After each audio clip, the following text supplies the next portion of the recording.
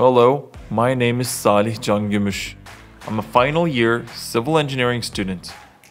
Pamukkale University has only one main campus.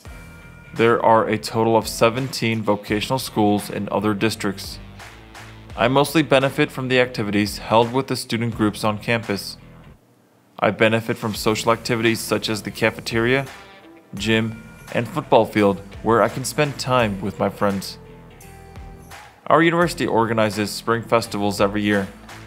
In addition to this, student communities are the organizers of festivities and festivals organized in the fields of culture, science, and art.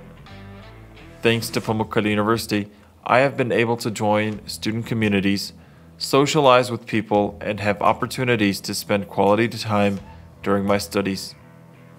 Since there are so many opportunities on campus, I try to do my best to benefit from the most of them. Students who will choose Pamukkale will have an environment where they can have fun. In addition, there are activities organized by the communities according to every interest. We welcome you all to Pamukkale University.